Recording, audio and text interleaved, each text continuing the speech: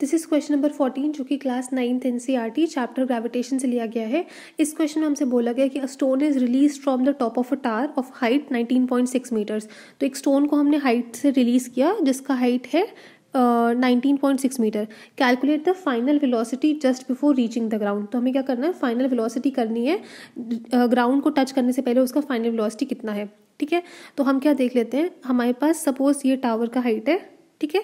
एक H height से हमने ऊपर से स्टोन को फेंका, ठीक है? तो हमारा स्टोन जब नीचे गिर रहा है, यहाँ पे हम लिख लेते हैं, हमारा टावर का जो हाइट है वो एच है, यहाँ से स्टोन गिरा। अब before reaching the ground rest पे आने से पहले यहाँ पे ग्राउंड यहाँ पे, इसका फाइनल वेलोसिटी क्या है, वो हमें फाइंड करना है, ठीक है? तो जब हमने ऊपर से अपना भेज स्टोन फेंका तो वो उसका इनिशियल वेलोसिटी होगा। यहाँ पे आके उसका फाइनल वेलोसिटी हो गया।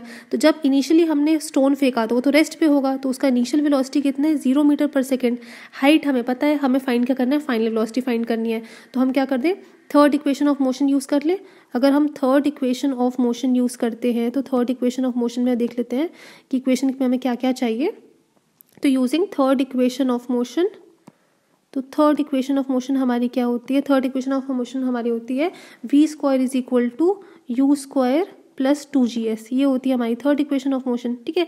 एस क्या होता है? हमारा हाइट या डिस्टेंस तो वी स्क्वायर क्या है? वी हमें कैलकुलेट करना है, ये हमें वी फाइंड करना है। तो वी स्क्वायर तो हमें निकालना है यू स्क्वायर हमारा ज़ीरो है, ठीक है? अच्छा टू इंटू जी का वैल्यू कितना होता है? जी का वैल्यू नाइन पॉइंट एट है। अब बॉल भी नीचे आ रही है, ठीक है? और जी भी नीचे की तरफ़ एक्ट करता है तो दोनों का साइन जी का साइन कैसा रहेगा? प्लस नाइन पॉइंट एट ही रहेगा। एच हमें कितना दे रहा है? एच हमें दे रहा है नाइनटीन पॉइंट सिक्स मीटर्स तो यहाँ से जब हम फाइनल वी का वैल्यू निकालेंगे तो वी स्क्वायर का वैल्यू हमें मिलता है three eighty four point one six